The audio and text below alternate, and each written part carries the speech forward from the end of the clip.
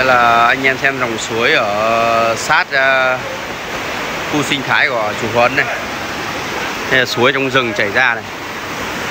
Đây là đường ở Hòa Bình đi vào. Quá tuyệt vời luôn. Đây là khu uh, nghỉ dưỡng của chú Huấn.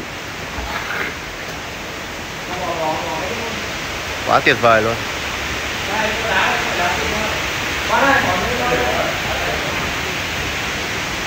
khu nghỉ dưỡng của chú Huấn tuyệt vời không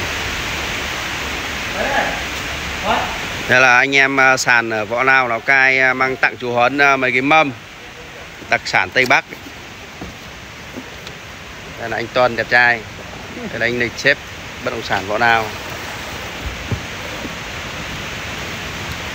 ok.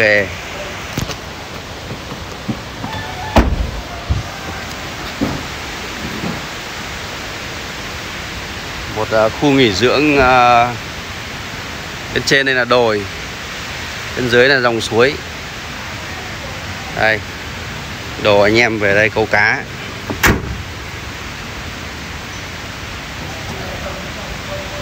Nhà sàn mái thái. À, con xe thần thánh của anh em nào cai chúng tôi?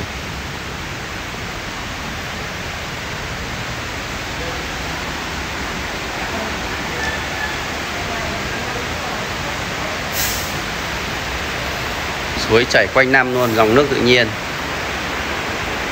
Chào chị nhá. Anh em Vân, đấy, giờ mông to phết. Dòng suối này. Đây là ao. Anh em tôi chuẩn bị câu cá ở đây. Anh em Vân sinh gái ờ, công ty văn phòng bất động sản võ nào Vân, mặc bộ này nhìn mông má cũng đâu ra đấy phết nhỉ?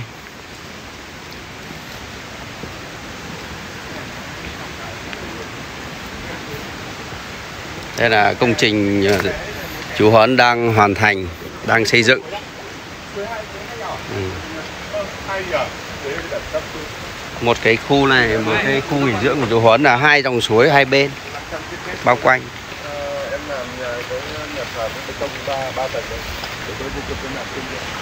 À, chú Huấn đang giới thiệu với anh em cái công trình xây dựng.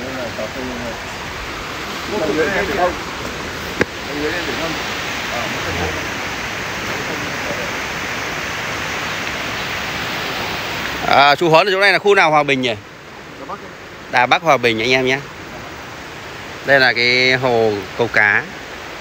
Bên kia hồ là một dòng suối nữa. Khu nghỉ dưỡng của chú Huấn được bao quanh bởi hai dòng suối và một cái đồi. Cái đồi ở trên. Hai bên là hai dòng suối. Suối trong rừng sâu. Đà Bắc Hòa Bình nha anh em nhé.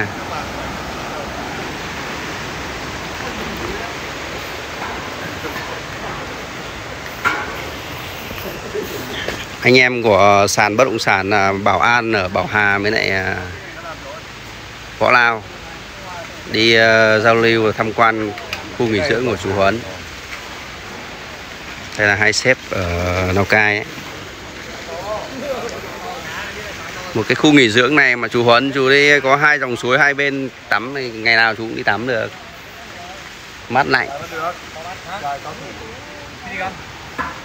này trà không? Uống mà đi uống nước hoa thế này sáng ra có nước hoa này. Nhà có nước hoa mà đến cái câu cá cũng có nước hoa để dùng này.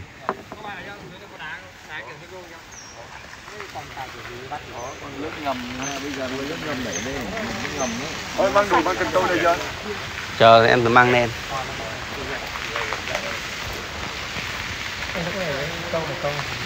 Được không?